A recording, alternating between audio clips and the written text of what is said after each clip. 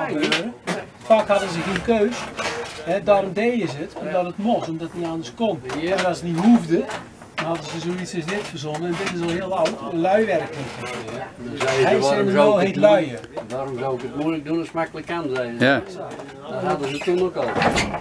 En zo doe je niet zo werk. Nu hangt die vrie in de lucht en dan komt loslaat, komt hij naar beneden. Oké. En nu is de bedoeling, eigenlijk moet hij daarop. Ja? Die zijn En stapje je hem, doen, dan pak je hem en dan laat je hem gewoon komen en je stuurt hem. Hier hoef je niks aan te doen eigenlijk.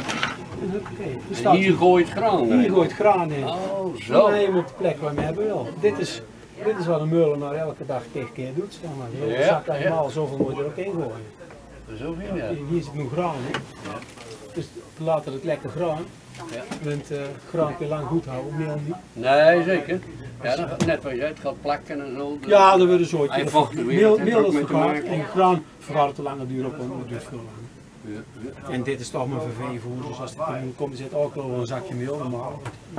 Dan doe je dat.